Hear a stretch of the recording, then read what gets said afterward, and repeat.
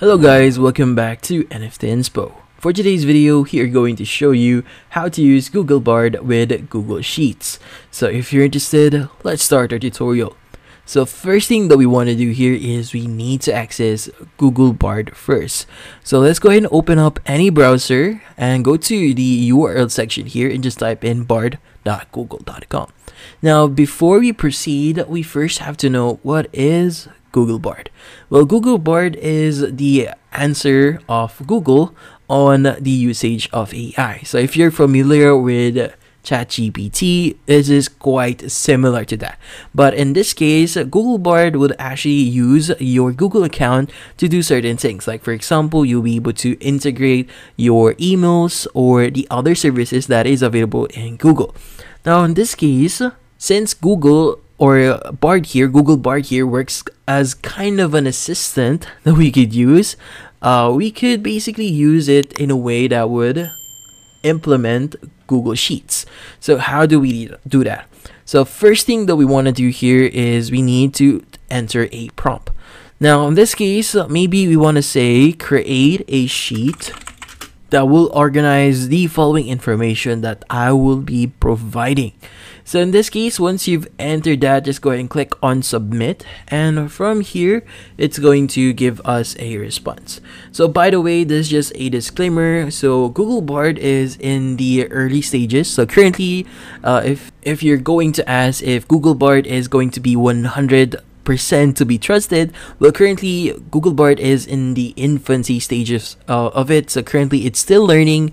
It's still young. So there's going to be some mistakes, but if you see any mistakes, you have the option to basically report this one. Like for example, click on the three dotted icon here, and from here you could go and click on report legal issue if you want to as well.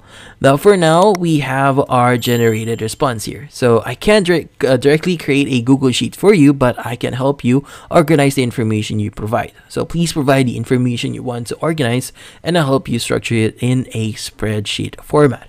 So meaning when we provide information on Google Bard, they will be able to basically create a table for us that we could copy and basically paste it into our Google Sheet.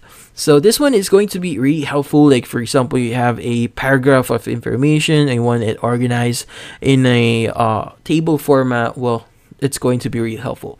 Now, in this case, you can go ahead and just enter your details here, but one of the features of Google Bard here, which is, which I find really cool, is you could basically upload photos.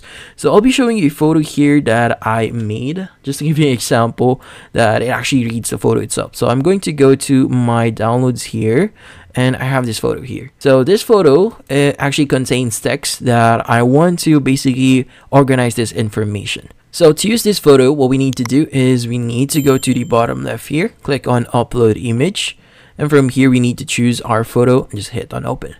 Now from here, what we need to enter in the prompt is please create a table organizing the information in this image. Now from here, you can go ahead and just click on submit. So by the way, if you don't want to type, you could basically use your voice as well or your microphone here. But for now, let's go ahead and press on the send button at the bottom right here.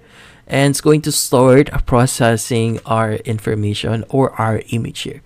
So in this case, it's uh, taking quite some time. So let's just wait for it. So sometimes it would give you this format here. So and here we have this uh, kind of wacky uh, format. So maybe we want to say, please organize this like in a Google Sheet. Now from here, let's just uh, press on submit here. And as you can see, we now have our proper table. Now, if you want to export this to Sheets, just click on the export to Sheets here. It's going to start creating the spreadsheet.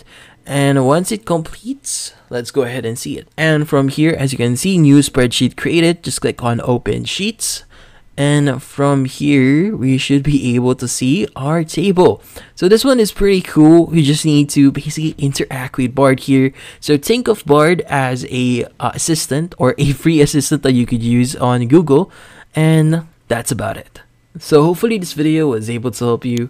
Like and subscribe to nft inspo. Thank you for watching